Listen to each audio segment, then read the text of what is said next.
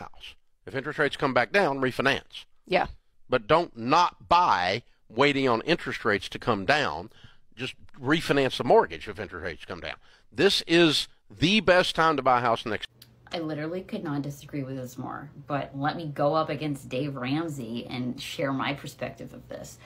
I think it's lunacy to buy right now at we're still in the peak of whatever this market is. We're still up. We're on we're on the downward trend. I don't know about your market, but in my market we're seeing every single day price reduction, price reduction, price reduction. Sellers want yesterday's pricing and buyers want tomorrow's pricing and it's we're almost at a, like a standstill. Prices are going down. I'm getting offers $150,000 under ask.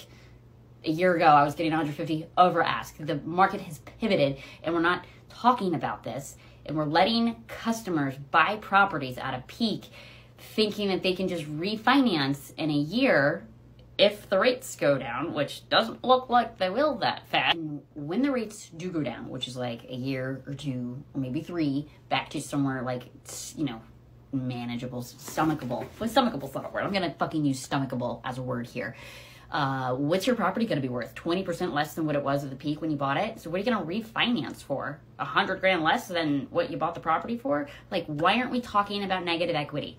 Why isn't anybody talking about this? Can someone explain to me why that isn't a point of conversation right now? Mortgage lenders and buyer's agents, I'm so fucking sorry, but I think we're doing our customers a disservice selling them properties at a peak of a market at high interest rates, just telling them to refi later. I think they're going to have negative equity, and I think we're going to put a lot of people in compromised situations. As professionals, I think that's terrible fucking advice.